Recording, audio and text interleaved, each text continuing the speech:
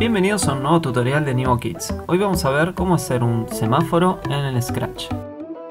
Bien, lo primero que hice fue un fondo que simula ser un cruce de calles. Después dibujé con el editor un semáforo y tres de sus disfraces, uno con cada color. Si bien ya lo vimos en otros tutoriales, vamos a hacer una pasada rápida por el editor de fondos y de objetos.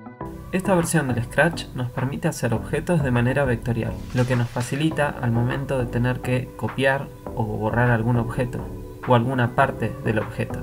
Si bien antes les había dicho que eran tres disfraces diferentes por cada objeto, en realidad son cuatro.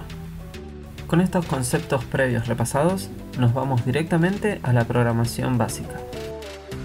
La idea sería poder cambiar de disfraz cada un determinado tiempo, obviamente de manera constante, y lo mismo con el otro objeto, que sería el otro semáforo, pero con distintos disfraces.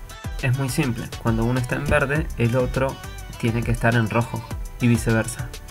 Una vez que nos situamos en las pantallas de los códigos, lo primero que tenemos que hacer es colocar la banderita verde, que es la que va a dar comienzo a todas las acciones de todos los objetos que nosotros coloquemos esta bandera. Después vamos a copiar el código hacia el otro objeto. El código va a ser exactamente el mismo, lo que va a cambiar es el orden de los disfraces.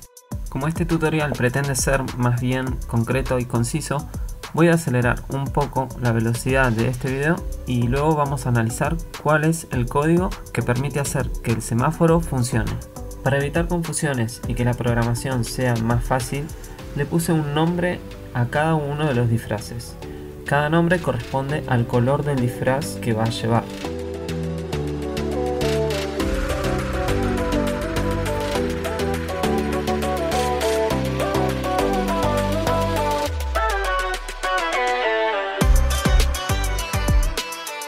El código de color naranja, llamado por siempre, significa que va a repetir por siempre todo lo que esté dentro de ese corchete.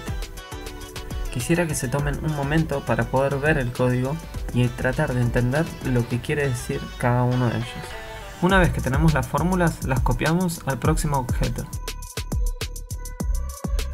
Agregamos la banderita. Lo voy a volver a copiar. Y le voy a cambiar el orden a los disfraces.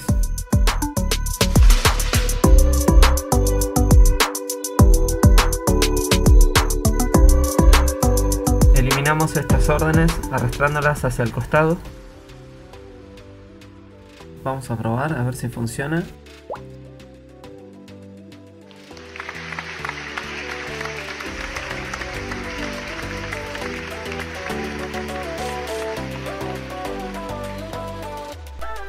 Esto fue todo, si te sirvió el video, aprendiste algo o te gustó, dale like que no cuesta nada y a mí me ayuda un montón. Nos vemos en el próximo video. Chao.